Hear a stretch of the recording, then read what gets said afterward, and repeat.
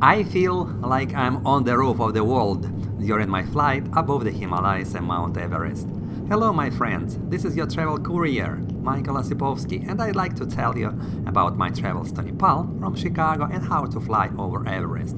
I bought a tour, flight over Himalayas, including Mount Everest, from Kathmandu on the viator.com. It's a $300 per person and included one hour flight, transfer from the hotel to the airport and back, a glass of champagne on the plane, and a certificate Yeti or Bigfoot Airlines, our green two-motor turboprop aircraft finally broke through the low, heavy clouds and rose above them.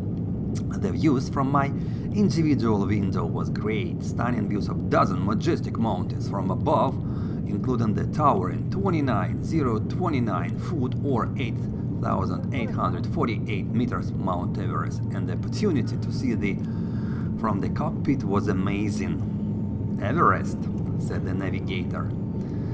Is it Everest? I said, pointing to the same mountain. Yes, he said. And on the right and slightly closing it, Lhotse mountain, 8,516 meters.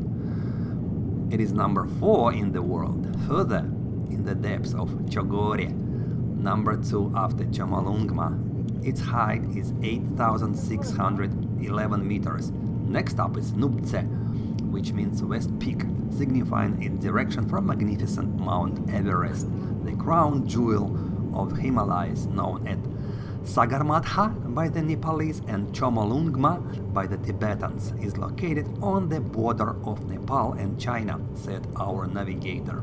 I think I personally will never climb Everest, so this flight was the closest I will ever come to this famous mountain. This is a must do if you are lucky enough to be able to travel to Nepal. I am glad we did it. But I'd like to tell you, it's not only really exciting to see Everest, but seeing the mountain range is an experience you will never forget.